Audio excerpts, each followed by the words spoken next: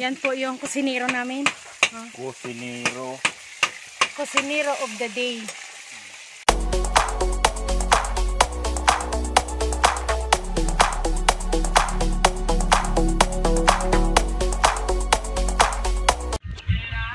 Guys, ay inihanda niya po yung para gawing kinilaw, kinilaw na tamban na isda.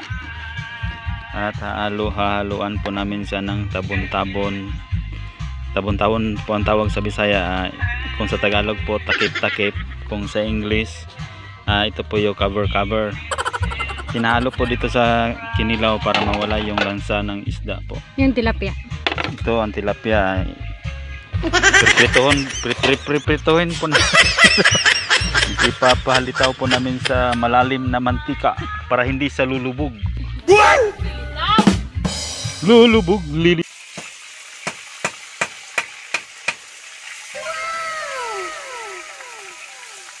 Wow! Marunong siyang magano. may na lang makabalo magprito Magprito ng tilapia.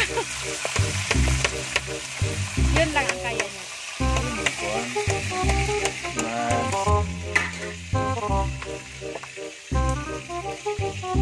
Mas, Init pa ng ano ah. Init lang ang tubig, namatay itong germs. Ang germs. Ang germs sa pipino. Asaloy ah. Ang susunod na iihawin ito.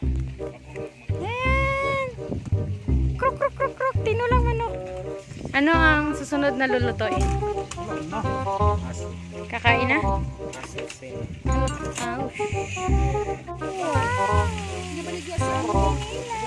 Si Ban, anak yung anak na si Kuan.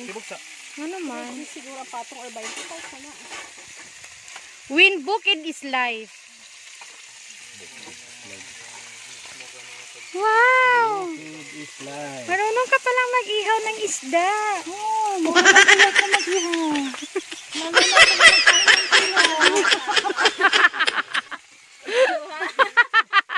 Marunong kaya kung magluto ng inihaw, lalo na kinilaw.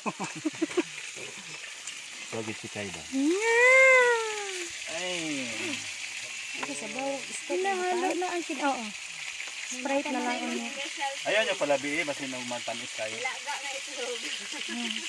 Yung asahay pagid kay mapagod.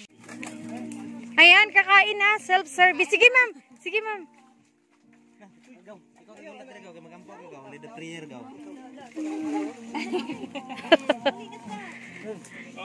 Ayan, hugas-hugas ng kamay. Ay, dali na mo.